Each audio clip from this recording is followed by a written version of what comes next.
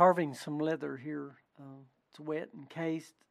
Got a uh, Barry King swivel knife here, and I'll cut this design in.